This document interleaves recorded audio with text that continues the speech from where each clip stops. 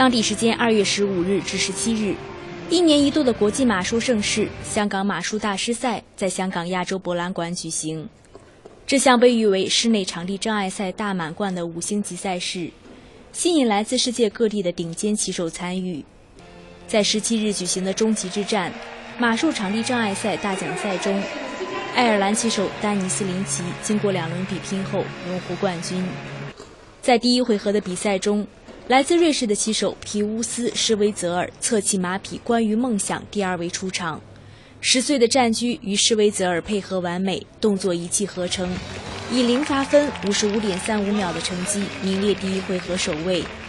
但在第二回合的比赛中，因碰掉一处障碍物的横杆被罚四分，施维泽尔最终名列第三位。爱尔兰骑手丹尼斯·林奇和法国骑手西蒙·德莱斯特。以两轮均是零罚分的卓越表现，名列冠亚军。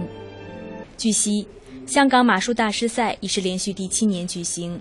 本届赛事加入多项新元素，除了原有的骑师马术接力赛和场地障碍赛大奖赛等赛事外，香港赛马会亚洲挑战赛、亚洲青少年挑战赛及亚洲青少年大奖赛均是新增设的赛事，彰显马术运动在亚洲取得的进步。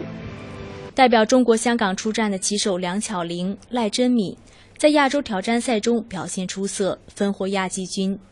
两位女将也在积极备战今年八月将在荷兰举行的东京奥运会资格赛。二人表示，参与此次五星级赛事，与世界顶级骑手较量，也是为奥运资格赛热身。东京的那个资格赛呢，是在荷兰八月的，然后是一个室外的比赛。那当然这里是一个室内的比赛，但是也是一个五星级的比赛，所以呃高度啊什么的都会比较相似。但是到了室外的时候，我觉得可能会比较呃容易一点，因为地方比较大一点啊，然后马匹也可以就是呃调整那个节奏也节呃调整的比较好一点。